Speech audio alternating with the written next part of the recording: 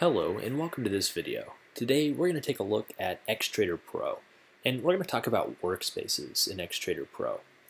As you can see I have several different windows within Xtrader Pro here. I have a quote board here on the left hand side. I have an MD Trader window here and several others here uh, all with various instruments. You can also see I have my control panel uh, located here at the bottom. Um, within Xtrader Pro, you have a lot of different windows and uh, different uh, display options. Uh, you can see I can move these around. These are all free, uh, free floating windows here, so I can arrange them in different ways. Uh, and many different people have different preferences on how they want those displayed.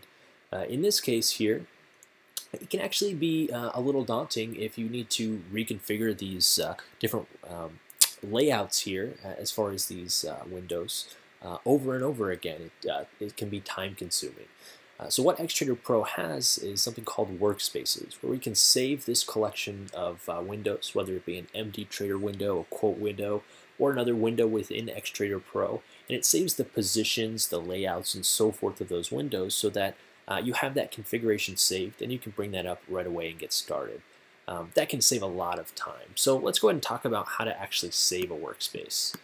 Now, one thing you can see here is we have uh, some uh, icons here. In the very first section here of icons, we have Open Workspace and Save Workspace.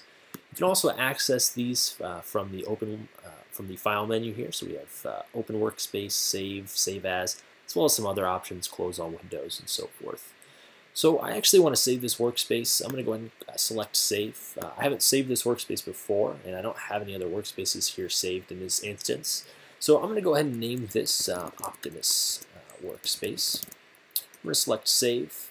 And now you can see uh, it is labeled Optimus Workspace on my control panel here, so I know which workspace I'm working with. And if I were to, uh, for example, close all windows here, uh, you can see it took away that workspace. Uh, if I wanted to add those windows back, all I need to do at this point is go to Open Workspace, select Optimus Workspace, and I can also select Open here. And you can see those are right where I left them off. Uh, so that can save a lot of time. And I don't have to configure those or reposition those or anything like that. The other thing you may have seen when I just uh, selected the Open Workspace option is uh, I can actually select this as Startup. So what that means is I can select this to uh, start up uh, automatically once I log into Xtrader Pro. Uh, so that way you don't even have to necessarily go to Open Workspace. It can automatically open up for you. You also have the option to delete a workspace if you want to clear that out uh, as well. So you have several different options for workspaces and uh, it can be a good help in configuring those different windows, those layouts, and also uh, to have it open automatically uh, once you log into Xtrader Pro. If you do have any questions about workspaces or Xtrader Pro in general, please feel free to give us a call or shoot us an email at any time.